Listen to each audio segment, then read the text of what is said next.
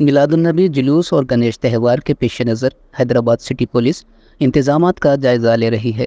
इसी सिलसिले में आज हैदराबाद के मजाफाती इलाके शाली बंडा था, चार मीनार एक मार्च मनद किया गया।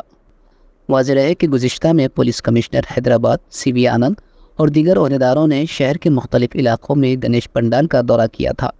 इस मार्च में Hyderabad police commissioner C V Anand, DGP Telangana doctor Jitendra, DCP south zone Sneha Mehra GHMC commissioner Amrapali, collector Hyderabad Anudeep IAS के अलावा रचाकुंडा कमिश्नर और साइबराबाद पुलिस कमिश्नर व दीगर आला अहदेदार मौजूद थे।